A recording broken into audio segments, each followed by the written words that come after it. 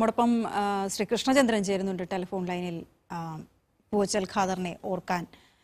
ശ്രീ കൃഷ്ണചന്ദ്രൻ ഒരു പക്ഷേ ഒരു ഗായകൻ എന്ന നിലയിൽ താങ്കൾ ഒരുപാട് അദ്ദേഹത്തിന്റെ പാട്ടുകൾ പാടിയിട്ടുണ്ടാകാം.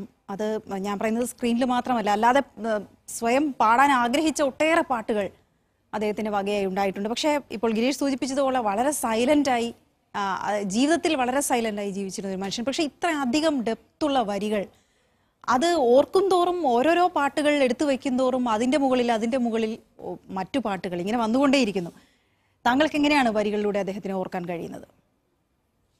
ഇപ്പോ അദ്ദേഹത്തെ പറ്റി പറയുമ്പോ രാജീവം വിടരും നിൻമിഴികൾ എന്നുള്ള ഗാനത്തിനെ കുറിച്ച് ശ്രീ ഗിരീഷ് പറയുന്നത് കേട്ടു.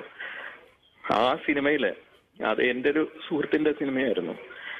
ബെൽറ്റ് മത്തായി എന്ന് പറഞ്ഞത് അതുകൊണ്ട് ഞാൻ പക്ഷെ ഈ നിങ്ങൾ സൂചിപ്പിച്ച പോലെ അത്രയും ഡെപ്തുള്ള സാഹിത്യത്തിന്റെ പാട്ടുകളല്ല അദ്ദേഹത്തിന്റെ അധികവും പാടിയിട്ടുള്ളത്. ഒരു കണക്കിന് പറയുകയാണെങ്കിൽ അദ്ദേഹം ഒരു ഒരു കാലഘട്ടത്തിൽ കുറെ ഇപ്പൊ നമുക്ക് എന്ത് സിനിമ എന്നാ പറയാനെ പറ്റിയെന്ന് എനിക്കറിയില്ല. ആക്ഷൻ മൂവീസ് എന്നാണോ അല്ലെങ്കിൽ ഒരു സ്വല്പം ഗ്ലാമറസ് ഒക്കെ ആയിട്ടുള്ള അങ്ങനത്തെ ചില സിനിമകളിൽ കുറെ ഗാനങ്ങൾ അദ്ദേഹം എഴുതിയിട്ടുണ്ട്. അങ്ങനത്തെ പാട്ടുകൾ പാടാനാണ് എനിക്ക് കുറെ അവസരങ്ങൾ കിട്ടിയത്. സോ ഗാനരചയിതാവ് എന്നുള്ള നിലയ്ക്ക് അദ്ദേഹത്തിന്റെ ഡെപ്തുള്ള ഗാനങ്ങൾ പാടാൻ എനിക്ക് അധികം അവസരം കിട്ടിയിട്ടില്ല. പക്ഷെ കാതറിക്ക എന്നുള്ള വ്യക്തിയെ വളരെ നന്നായിട്ട് അറിയുന്ന ഒരാളായിരുന്നു ഞാൻ. കാരണം ഞങ്ങളുടെയൊക്കെ എൺപതുകൾ മുതലുള്ള ചെന്നൈ ജീവിതം. അപ്പൊ ഞങ്ങളുടെയൊക്കെ ഓരോ റെക്കോർഡിംഗ് കഴിഞ്ഞാലും റെക്കോർഡിങ്ങിന് പോകുമ്പോഴും വരുമ്പോഴും ഒക്കെ ഈ സാലിഗ്രാമം എന്നുള്ള ഈ സിനിമക്കാർ തിങ്ങി നിറഞ്ഞ് താമസിക്കുന്ന ഒരു സ്ഥലമുണ്ട്. അവിടെയാണ് കാതറിക്കയുടെ താമസം ഉണ്ടായിരുന്നത്. ശ്രീ ശ്രീ ഉണ്ണിമേനോൻ അങ്ങനെ പലരും ആ സമയത്ത് അവിടെ താമസിച്ചിരുന്നു. ഇവൻ ചിത്രയൊക്കെ അവിടെ താമസിച്ചിരുന്നു. അപ്പോൾ നമ്മൾ ഈ റെക്കോർഡിംഗ് ഒക്കെ കഴിഞ്ഞ് വരുമ്പോ വീട്ടിലേക്ക് പോകുമ്പോ ആ ഒരു സ്ട്രീറ്റിന്റെ മുന്നിൽ ഇദ്ദേഹത്തിന്റെ വീടിന്റെ മുന്നിൽ ഇദ്ദേഹവും ഇദ്ദേഹത്തിന്റെ ഭാര്യയും എപ്പോഴും നമ്മൾ മീറ്റ് ചെയ്യുന്നതാണ്. അപ്പൊ അദ്ദേഹം തരുന്ന ആ ഒരു സ്നേഹം അതാണ് എനിക്ക് കൂടുതൽ ഓർമ്മ വരുന്നത് ഈ സമയത്ത്. പിന്നെ ഡെപ്തിന്റെ കാര്യം പറയുമ്പോൾ വേറൊരു കാര്യം ഞാൻ ചെറുതായിട്ടൊന്ന് ഓർമ്മിപ്പിക്കാൻ.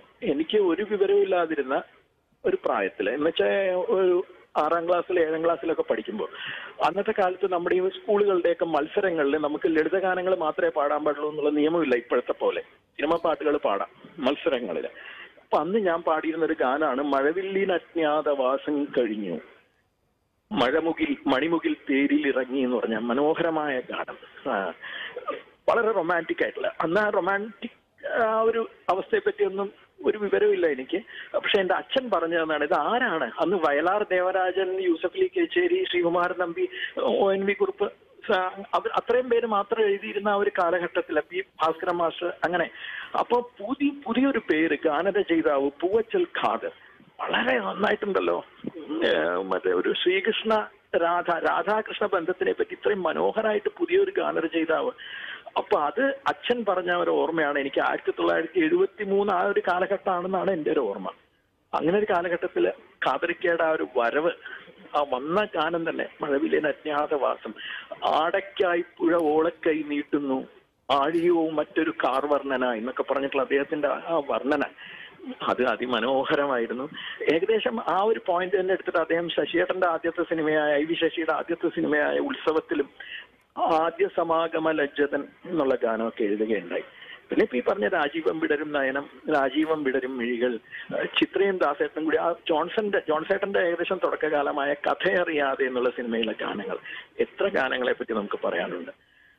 ഈ അദ്ദേഹത്തിന് അസുഖം വന്നു എന്ന് ഞാൻ കേട്ടപ്പോൾ ഞാനിങ്ങനെ പലരെയും ഞാനാണ് നമ്മുടെ സിംഗേഴ്സ് ഗ്രൂപ്പിൽ പലർക്കും മെസ്സേജ് അയച്ച് അറിയിച്ചത്. പ്രത്യേകിച്ച് ഞങ്ങളുടെ ചെന്നൈ ഗ്രൂപ്പുകളെയൊക്കെ.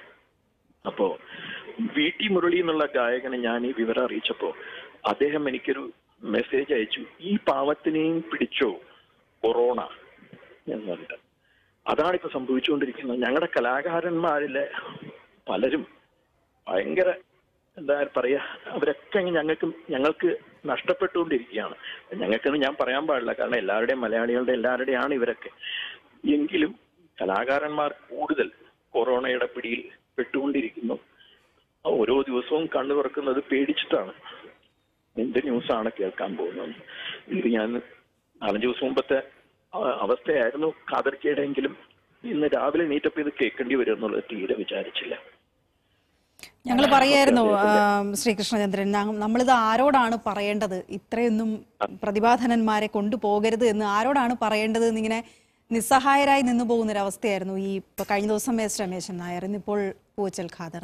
ഈ വിട്ടുപോകുന്ന ആളുകളെയൊന്നും നമുക്ക് പക്ഷേ നമ്മുടെ ഒരു സൗഭാഗ്യം എന്ന് പറയുന്നത് അദ്ദേഹത്തിന് ഈ ഇത്തരം ആളുകളുടെ കാലത്ത് ജീവിക്കാൻ കഴിഞ്ഞു എന്നുള്ളതും നമ്മോടൊപ്പം ആ പാട്ടുകളിലൂടെ അവരെല്ലാ കാലവും ജീവിച്ചിരിക്കുന്നു എന്നുള്ളതുമാണ് നമുക്കങ്ങനെ ഓർത്തെടുക്കാൻ കഴിയും എങ്കിൽ പോലും ഒരു ഒരു രണ്ടു വരി പാടാൻ താങ്കൾക്ക് കഴിയുമോ? അതൊരു ഒരു ഒരു- ഒരു തീർച്ചയായും. ഞാൻ കഴിയുമോ എന്ന് ചോദിക്കുന്നത് അതുകൊണ്ടാണ്. താങ്കൾക്കത് വ്യക്തിപരമായി കൂടി വലിയ നഷ്ടമായില്ലേ മഴവില്ലിന് അജ്ഞാതവാസം എന്നുള്ള ഗാനം അതിൽ നാളിക നേത്രങ്ങൾ മെല്ലെ തുറന്നു നാണം പൂവായി വീഴുന്നു. ആടയ്ക്കായി പുഴ ഓളക്കൈ നീട്ടുന്നു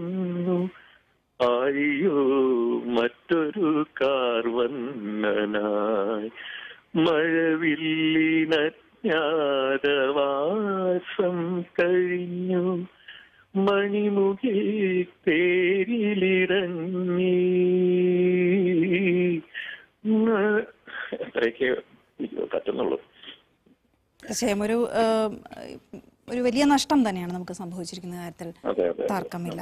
വളരെ നന്ദി ശ്രീകൃഷ്ണ വളരെ നന്ദി ശ്രീകൃഷ്ണചന്ദ്രൻ